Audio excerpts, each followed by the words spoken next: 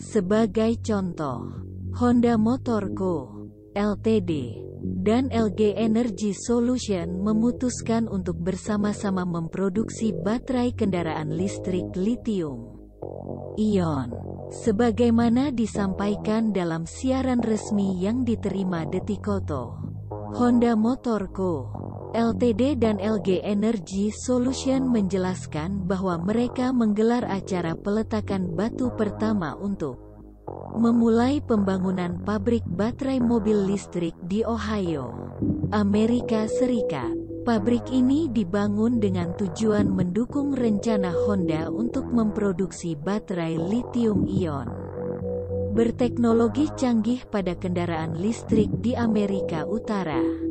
Pabrik baterai ini kabarnya akan memiliki luas 186.000 meter persegi dan pembangunannya akan dimulai pada Maret tahun 2023 dan direncanakan selesai pada akhir tahun 2024. Honda dan LG sebelumnya telah mengumumkan kerjasama pada kuartal ketiga 2022 dengan total investasi 4,4 miliar dolar.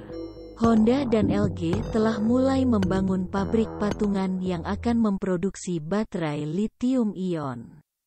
Dok, Honda Motor Co. Ltd. merupakan suatu kehormatan untuk mewakili dua perusahaan besar, Honda dan LG Energy Solution.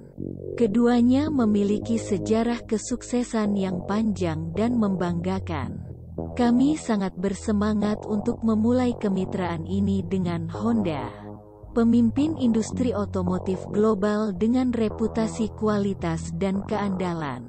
Kami yakin perusahaan-perusahaan ini akan menjadi pabrik baterai paling sukses di dunia, kata pemimpin perusahaan patungan. Robert H. Peletakan batu pertama dihadiri oleh Toshihiro Mibi Presiden dan CEO Honda Motor Co. Ltd. Dong Myung Kim selaku Presiden dan Kepala Divisi Advanced Automotive Battery LG Energy Solution. Mike Dewin Gubernur Ohio.